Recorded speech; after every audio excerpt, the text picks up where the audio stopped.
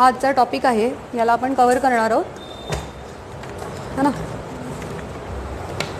पुस्तकांमध्ये खूप कॉम्प्लिकेशन्स दिलेले आहेत. हे जर तुम्ही वाचलं असेल तर चांगल्या चांगल्या पुस्तकांमध्ये खूप कॉम्प्लिकेटेड दिलेलं आहे. याला आपण थोडंसं सिम्प्लिफाय करून बघूया.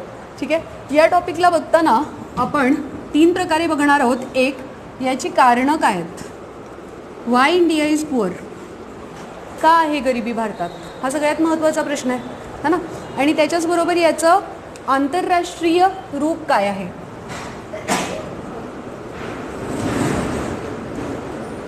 आंतरराष्ट्रीय स्तरावर याची काय कहाणी आहे? आणि याच्याच नंतर भारताची सद्य परिस्थिती.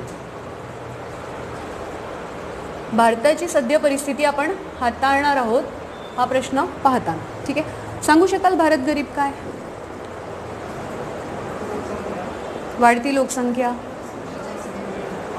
प्राशा प्रशासनिक नियोजन आपलं योग्य नाही आहे. ओके अनएम्प्लॉयमेंट बरोबर. है ना? बरोबर आहे. बघा सगळ्यात पहिले जे महत्त्वाचं कारण आहे ते हे आहे की भारताची लोकसंख्या खूप जास्त होती. होती. आता नाही आहे. बघा एक भारताची लोकसंख्या. ठीक आहे? एकोणीसशे सत्तेचाळीस नंतर दोन हजार अकरापर्यंतचा जो आपला प्रवास आहे याच्यात आपण लोकसंख्येचे विस्फोट बऱ्याच वेळा पाहिलेले आहेत. ठीक आहे? आणि यामध्ये काय झालं की याचं कारण काय होतं? अशिक्षितता मिसमॅनेजमेंट वगैरे वगैरे ही याची कारणं होती मुळात. ठीक आहे? आता या लोकसंख्येमुळे काय होत होतं की वाढत्या लोकसंख्येमुळे बेरोजगारीसुद्धा वाढत होती. कारण गांधीजींचं जर आपण विधान लक्षात घेतलं तर त्यांनी म्हटलं होतं की कुठलीच सरकार इतक्या मोठ्या लोकसंख्येसाठी रोजगार निर्मिती करू शकत नाही. कुठलीच सरकार करू शकत नाही. ठीक आहे? आणि त्याच्यामुळे मग काय करा? त्याच्यामुळे कुटीर उद्योगांकडे लक्ष द्या. त्याच्याचबरोबर सेल्फ हेल्प ग्रुप स स्वयंसहाय्यता समूहांकडे लक्ष द्या. हे गांधीजींचं म्हणणं होतं. बरोबर आहे? पण काय झालं की आपण लोकसंख्या खूप जास्त असल्यामुळे बेरोजगारी खूप जास्त वाढली. बेरोजगारी जास्त वाढल्यामुळे काय झालं की आपलं पर कॅपिटा इन्कम जे आहे ते कमी झालं. पर कॅपिटा इन्कम प्रतिडोई किंवा दरडोई उत्पन्न कमी झालं. दरडोई उत्पन्न कमी झाल्यामुळे काय झालं की आपली बचत कमी झाली. सेविंग्सचा रेट खूप कमी होता. ठीक आहे? सेविंग्सचा रेट कमी असल्यामुळे काय झालं की जीवनाचा दर्जा जो होता हा कमी झाला. आपल्याला खूप चांगल्या हेल्थ फॅसिलिटीज एज्युकेशन फॅसिलिटीज अन्न वस्त्र निवारा या गरजासुद्धा भागवणं कठीण होत होतं. बरोबर आहे? याच्यानंतर हा जीवनाचा दर्जा कमी झाल्यामुळे काय झालं की असामाजिकता भारतात पसरली. असामाजिकता पसरली. आणि या असामाजिकतेमुळे काय झालं की भारतात नक्षलवाद सारखी समस्या उत्पन्न झाली. नक्सलवाद आतंकवाद किंवा दरोडेखोरी वगैरे वगैरे उत्पन्न झाली. हे पूर्ण चक्र आहे याला म्हणतात निर्धनतेचं चक्र. निर्धनतेचं चक्र याला म्हणतात. ठीक आहे की वाढत्या लोकसंख्येमुळे काय होतं? वाढत्या लोकसंख्येमुळे बेरोजगारी वाढते. बेरोजगारीमुळे पर कॅपिटा इन्कम कमी होतं. पर कॅपिटा इन्कम कमी झाल्यामुळे बचत कमी होते. बचत कमी झाल्यामुळे गुंतवणूक कमी होते. इथे गुंतवणूक कमी होते आणि गुंतवणूक कमी झाल्यामुळे औद्योगिकीकरण कमी होतं. औद्योगिकीकरण कमी झाल्यामुळे पुन्हा रोजगार जनरेशन कमी होतं. रोजगार जनरेशन कमी झाल्यामुळे जीवनाचा दर्जा जो आहे तो खालावतो सामाजिक अस्थिरता निर्माण होते आणि नक्षलवाद आतंकवाद सारख्या समस्या निर्माण होतात. हे आहे निर्धनतेचं चक्र. कळते पण आता सध्या ज्या युगात तुम्ही राहताय दोन हजार एकोणीस current affairs economic survey two thousand नाईन्टीनच्या economic survey अनुसार रेफरन्स आहे इकॉनॉमिक सर्वे कुठल्याच पुस्तकात नाही आहे हे लक्षात घ्या. ठीक आहे? भारताचा total fertility rate T F R total fertility rate म्हणजे एकूण उत्पादन क्षमता जी आहे ती झालेली आहे two point one two point one ठीक आहे? टी एफ आर झालेला आहे टू पॉईंट वन आणि जर एखाद्या देशाचा T F R two point one झाला याचा अर्थ असतो की आता फेवरेबल कंडिशन निर्माण झाली आहे. ठीक आहे? फेवरेबल कंडिशनचा अर्थ असा आहे की आता भारतात दरमहा दोन पॉईंट एक मुलं जन्माला येतात. दरमहा ऑन एन एव्हरेज ठीक आहे? आणि सगळ्यात जास्त फर्टिलिटी रेट कमी झालेलं राज्य आहे पश्चिम बंगाल. पश्चिम बंगाल. समजतंय? आता जर आपल्याला होमवर्क पाहायचं असेल तर आपण काय पाहू? आर एफ आर काय असतं? रिप्रोडक्टिव्ह रिप्रोडक्टिव्हिटी फर्टिलिटी रेट काय असतं? याच्यानंतर तुमचा एम एम टी आर काय असतो? मदर मोर्टॅलिटी रेट है ना? चाइल्ड मोर्टॅलिटी रेट काय असतो? C M R mother mortality rate M M R किंवा infant mortality rate I M R हे सगळं काय असतं? एकदा शोधून काढण्याचा प्रयत्न करा. काही शब्दावली आहे जी तुमच्या जनगणनेशी निगडीत आहे. जनगणना जेव्हा केली जाते तेव्हा या सगळ्या शब्दावलीशी आपण डील करत असतो. बघा. होमवर्क सांगते तुम्हाला.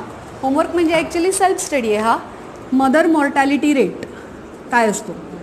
टोटल फर्टॅलिटी रेट काय असतो? इन्फांट मोर्टॅलिटी रेट काय असतो? सी एम आर काय असतो? किंवा याच्याचबरोबर टी पी आर काय असतो हे पण बघा बरं शोधा. ठीक आहे? हे शोधण्याचा प्रयत्न करा याच्यात तुम्हाला भरपूर उत्तरं मिळत राहतील. ठीक आहे? सो भारताच्या परिस्थितीची जर आपण बघितलं की ब आपली पृष्ठभूमी काय होती? भारताची पृष्ठभूमी होती की भारत एक खूप वेल्दी राज्य आहे किंवा वेल्दी राष्ट्र आहे. Wealthy in what sense we have rich natural resources आपल्याकडे नैसर्गिक संसाधनांची कमी नाही.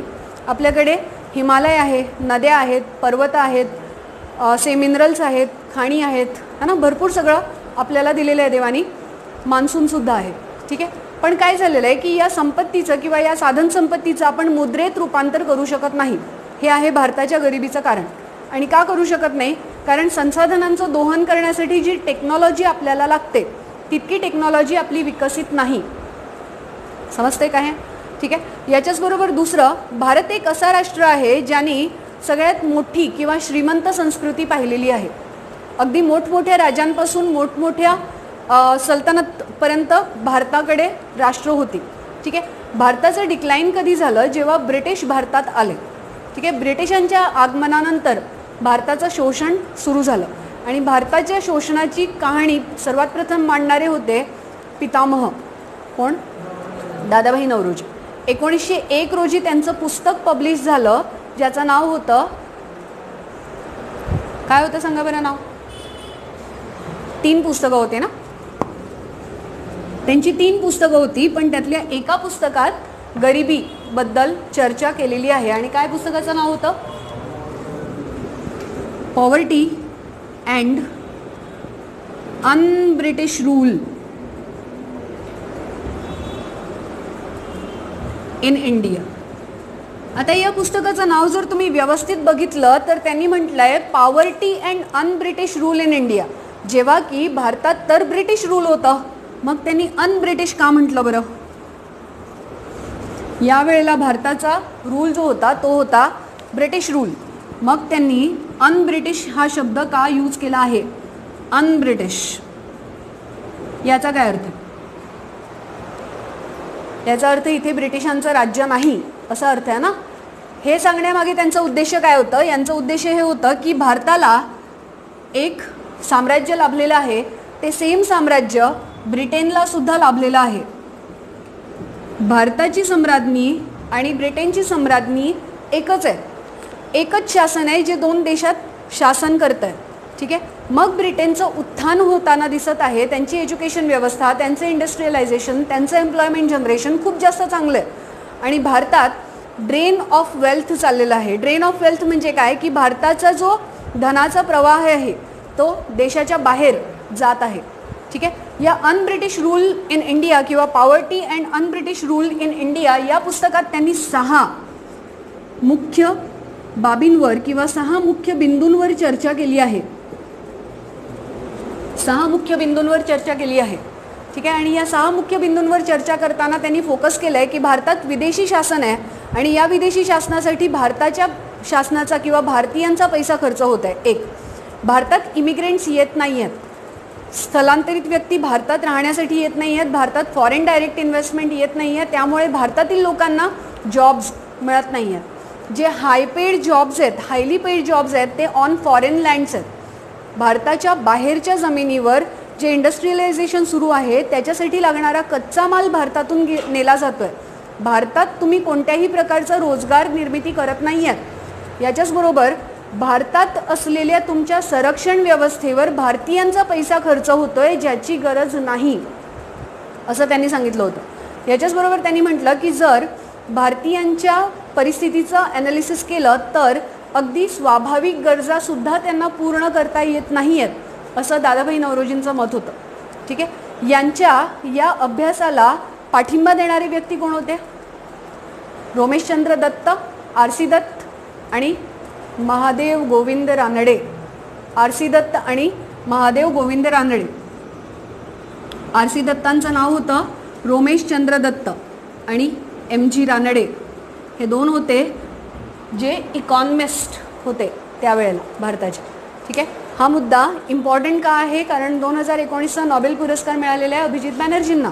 यावर आज आपण चर्चा करणार आहोतच. आपल्या करंट अफेअर्सचा हा मुद्दा आहे की मल्टी डायमेन्शनल इंडेक्स म्हणजे काय? मल्टी डायमेन्शनल पॉवर्टी इंडेक्स काय काय असतात त्याचे मानदंड? कशा आधारावर दिले जातं भारताची काय परिस्थिती आहे? वगैरे वगैरे आपण पाहणारच आहोत. आलं लक्षात? सो ही आहे भारताची सध्याची परिस्थिती. ठीक आहे? आता आंतरराष्ट्रीय लेवलवर जर आपण याला पाहिलं तर बघा. कट करू याला. ठीक आहे? आंतरराष्ट्रीय स्तरावर जर आपण पॉवर्टीला पाहिलं तर याची व्याख्या देण्यासाठी वर्ल्ड बँकनी यू एननी इतर संस्थांनी प्रयत्न केला आहे. यू एनने हे म्हटलेलं आहे की जेव्हा एखाद्या व्यक्तीच्या विकल्प आणि संधी सीमित होतात तेव्हा तो स्वतःच्या जीवनाचा विकास करू शकत नाही. तेव्हा त्याला म्हणतात गरिबी. त्यांनी म्हटलेलं आहे की poverty is lack of opportunities and as a result the lack of development of human individual personality is known as poverty कळतं हे यू एनचं डेफिनेशन आहे. पाहिजे तर लिहून घेऊ शकता.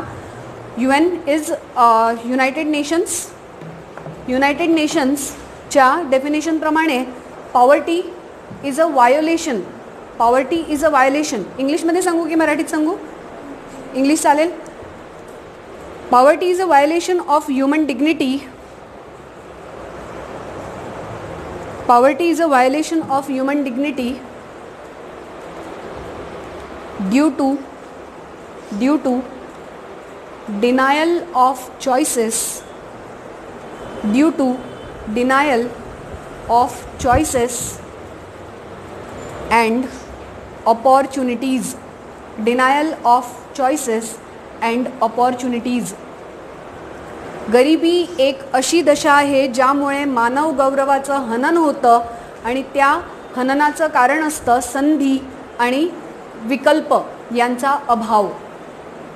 हे आहे याचं मराठी ट्रान्सलेशन कळते मानव गरिबी किंवा गरिबी ही एक अशी परिस्थिती आहे जी मानव गौरवाचं हनन करते. आणि त्या हननाचं कारण असतं संधी आणि विकल्प यांचा अभाव. ह्युमन डिग्निटी ठीक आहे? यांचा अभाव. ठीक आहे? हे यू एनचं डेफिनेशन आहे. यू एनचे अध्यक्ष कोण आहेत? यू एनचे अध्यक्ष कोण आहेत? अच्छा अगोदरचे कोण होते कमीत कमी ते तर लक्षात राहिलं असेल. बानकी मून या अगोदर होते बानकी मून. साऊथ कोरियाचे होते.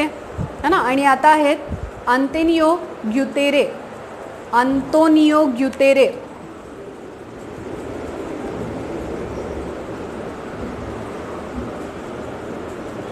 आंतोनियो ग्युतेरे हे आहेत यू एनचे अध्यक्ष. होमवर्क काय कराल? कोणत्या देशाचे रहिवासी आहेत? शोधा बरं. शोधा बरं. चला सांगते. पोर्तुगील पोर्तुगालचे आहेत. पोर्तुगालचे आहे. दिवाळी आली आहे ना हे होमवर्क तर करणार नाही तुम्ही. है ना? ठीक आहे? सो अंतोनियो ग्युतेरे या अगोदर होते बान की मून. आणि जेव्हा बानकी मून होते तेव्हा हे खूप चर्चेत होते. हे लक्षात ठेवा. काही गोष्टींना ना लक्षात ठेवत जा. दक्षिण कोरियाचे होते. आणि हे आंतोनियो ग्युतेरे आहेत हे पोर्तुगालचे रहिवासी आहेत. पोर्तुगाल. ही आहे तुमच्या यू एनची डेफिनेशन ठीक आहे? आता गरिबीबद्दल वर्ल्ड बँक काय म्हणते ते बघा. विश्व बँक. विश्व बँकेने दिलेलं डेफिनेशन काय आहे ते बघा. सांगू? बघा. याला पण आपण लिहून घेऊया हवं तर. वर्ल्ड बँक म्हणते की poverty poverty is world bank म्हणते poverty is a processional processional deprive poverty is a processional deprive processional deprive in well-being in well-being and and comprises and comprises many dimensions and comprises many dimensions such as many dimensions such as low income such as low income low level of health and education low level of health and education and insufficient and insufficient opportunities insufficient opportunities to betterment to betterment of one's life. To betterment of one's life. World बँकच्या according विश्व बँकेच्या according गरिबी ही एक सतत चालणारी प्रक्रिया आहे ज्याचा परिणाम असा असतो की निम्न स्तरावरचं उत्पन्न निम्न जीवनाचा दर्जा आणि ज्यामुळे उत्तम शिक्षण व्यवस्था उत्तम आरोग्य या सगळ्या सुविधांपासून मानव वंचित राहतो. हे आहे विश्व बँकेचं डेफिनेशन आलं लक्षात? ठीक आहे? आलं लक्षात? वर्ल्ड बँक म्हणते की गरिबी ही एक सतत चालणारी प्रवृत्ती आहे किंवा प्रक्रिया आहे ज्याचा परिणाम असा होतो की निम्न उत्पन्न निम्न दर्जाचे उत्पन्न निम्न दर्जाचे जीवनमान आणि याच्याचबरोबर उत्तम शिक्षण व्यवस्था उत्तम आरोग्य सुविधा इत्यादींपासून मानव वंचित राहतो. हे वर्ल्ड बँकचं डेफिनेशन आहे इथपर्यंत कुठे काही प्रश्न आहे? ठीक आहे? आता दोन मोठ्या संघटनांनी दिलेले ग गरिबीचं डेफिनेशन आपण पाहिलं. आपण सर्वसामान्यांसाठी गरिबीचं डेफिनेशन काय असतं? की जेव्हा एखादा व्यक्ती आपल्या जीवनाच्या मूलभूत गरजा पूर्ण करण्यासाठी असमर्थ होतो तेव्हा त्या परिस्थितीला आपण म्हणतो गरिबी. जेव्हा एखादा व्यक्ती जीवनाच्या मूलभूत गरजा आर के एम रोटी कपडा मकान ठीक आहे? हे पूर्ण करण्यासाठी असमर्थ होतो तेव्हा त्या परिस्थितीला म्हटलं जातं गरिबी. ठीक आहे? आणि अर्थशास्त्राच्या भाषेत या गरिबीला दोन पार्टमध्ये या दारिद्र्याला दोन पार्टमध्ये डिवाईड केलेलं आहे. दारिद्र्याला दोन पार्टमध्ये डिवाईड केलेलं आहे. एक आहे ॲप्सॉल्यूट पॉवर्टी विच मीन्स निरपेक्ष. दारिद्र्य. आणि एक आहे रिलेटिव्ह पॉवर्टी विच मीन्स सापेक्ष. दारिद्र्य. एक आहे निरपेक्ष दारिद्र्य एक आहे सापेक्ष दारिद्र्य. ठीक आहे? निरपेक्ष दारिद्र्याचा काय अर्थ आहे? निरपेक्ष दारिद्र्याचा अर्थ आहे की दारिद्र्य रेषेखालील दारिद्र्य रेषेखाली राहणाऱ्या व्यक्तींची परिस्थिती. आणि ही दारिद्र्य रेषा वेळोवेळी शासनाद्वारे निश्चित केली जाते. ही दारिद्र्य रेषा वेळोवेळी शासनाद्वारे निश्चित केली जाते. याच्यासाठी बऱ्याचशा कमिटीज येत असतात. त्यासाठी बऱ्याचशा कमिटी येत असतात. ठीक आहे? आणि सापेक्ष दारिद्र्य काय असतं? सापेक्ष दारिद्र्य म्हणजे हे की समाजातील पाच पर्सेंट उच्च उत्पन्न वर्ग यांचा यांची तुलना जेव्हा समाजातील पाच पर्सेंट निम्न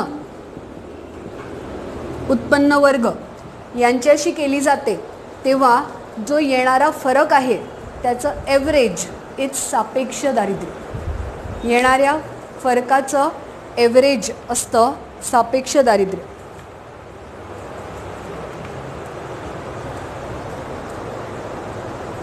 ठीक आहे?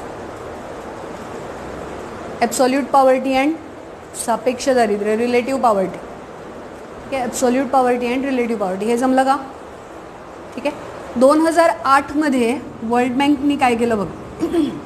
दोन हजार आठमध्ये विश्व बँकेने हे डिक्लेअर केलं की ज्या व्यक्तीची ॲन्युअल इन्कम ज्या व्यक्तीची ॲन्युअल इन्कम डॉलर एक पॉईंट पंचवीस पर डे पर डे आहे तो गरीब नाही ठीक आहे? आणि ज्यांची नाही तो गरीब आहे पर डे ठीक आहे?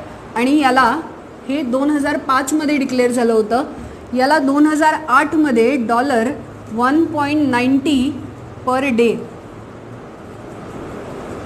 हे डिक्लेअर करण्यात आलं. वन पॉईंट नाईन्टी आणि एका डॉलरची किंमत जर आपण ऑन एन एव्हरेज साठ रुपये मानलं तर ही आहे तुमची गरिबी रेखा वर्ल्ड बँकच्या अनुसार. म्हणजे ही आंतरराष्ट्रीय गरिबी रेखा निश्चित केली गेलेली आहे. ठीक आहे? पण ही कशा प्रकारे निश्चित केली जाणार? ही P P P purchasing power पॅरिटीच्या आधारावर निश्चित केली जाणार. परचेसिंग पॉवर पॅरिटी म्हणजे काय? क्रयशक्ती क्षमता. हे तुम्ही एन सी आर टीमध्ये पण वाचलं आहे स्टेट बोर्डात पण वाचलं आहे मोठ्या मोठ्या पुस्तकांमध्ये पण वाचलं आहे आणि जिथून जिथून क्लासेस करून आले तिकडे पण बघितलं सांगा काय असतं ते? ही एक कन्सेप्ट आहे है ना? आणि सांगितलं तर तुम्हाला मी कॅडबरी देईन. हां? खरेदी क्षमता म्हणजे काय? एक्सप्लेन करा. रुपया आणि डॉलर हां क्रयश लिहिला ना ते क्रयश. एक्सप्लेन करा. तुम्हाला किती समजतं ते सांगा. आता सध्या रुपयाची क्रयशक्ती क्षमता आपल्याला काढायची असेल कशी काढणार? याचं डेफिनेशन जी पुस्तकात दिले ते तुम्हाला सांगते. एखाद्या देशी मुद्रेचं एखाद्या विदेशी मुद्रेबरोबर तुलना करून त्या मुद्रेत तुम्ही देशी वस्तू किती खरेदी करू शकता त्याची क्षमता म्हणजे क्रयशक्ती क्षमता हे तुम्ही वाचलं प्रॅक्टिकली इम्प्लिमेंट करून दाखवा. कळत आहे सांगण्याचा अर्थ असा की कितीही पुस्तकं वाचा जोपर्यंत ते डोक डोक्यात घुसत नाही ना तोपर्यंत त्याचा काही उपयोग नसतो. आता ऐका क्रयक्षम क्रयशक्ती क्षमता काय असते? P P P.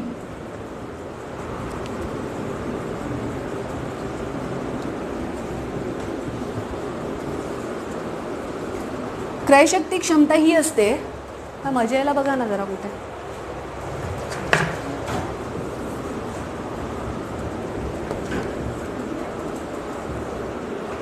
ना क्रयशक्ती क्षमता काय असते बघा? पहिली गोष्ट की एखाद्या विदेशी मुद्रेच्या तुलनेत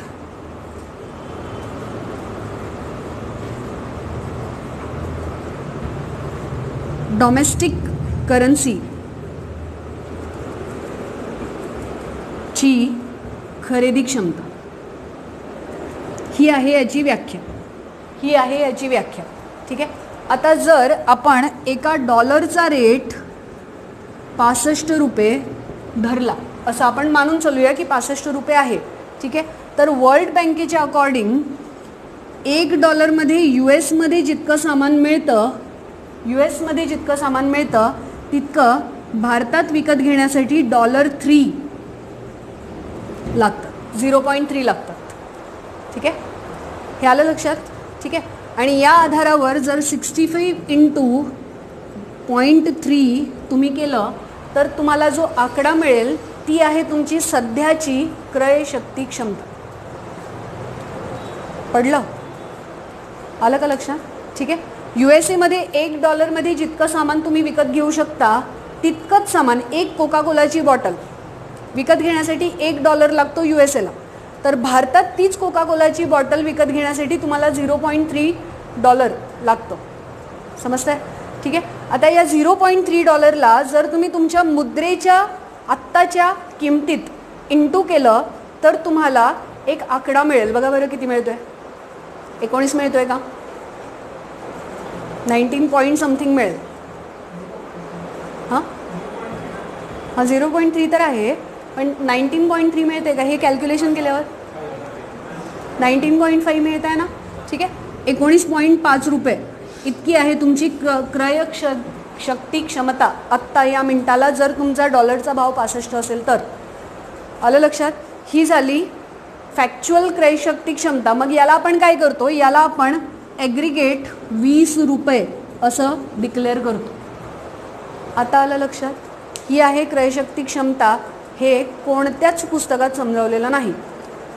No book has this explanation आणि त्यामुळे तुम्ही वर्षानुवर्ष पुस्तकं वाचता. जर तुम्हाला विचारलं इंटरव्ह्यू बोर्डमध्ये की क्रयशक्ती क्षमता म्हणजे काय पोपटासारखं डेफिनेशन बोलतो. है ना?